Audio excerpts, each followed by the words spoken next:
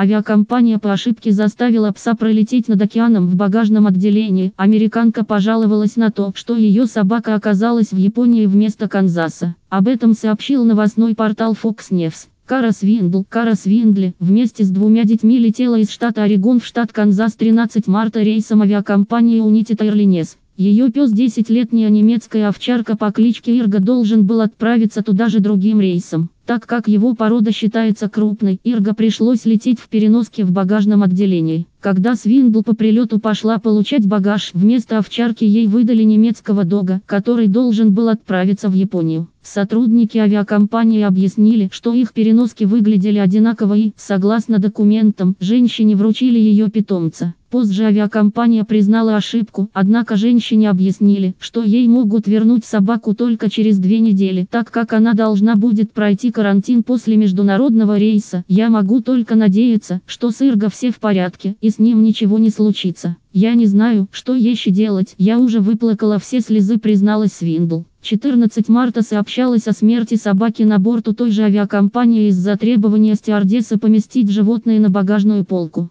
Унити Тайрлинес пообещали провести расследование и наказать стюардессу. Больше ада и странных новостей в телеграм-канале Лента Дна. Подпишись перейти в мою ленту новость размещена на сайте вседоски.ком. Это бесплатный сервис по массовому размещению объявлений на десятки досок объявлений. Как продать быстрее? Размести объявление сразу на все доски объявлений с помощью сервиса вседоски.ком.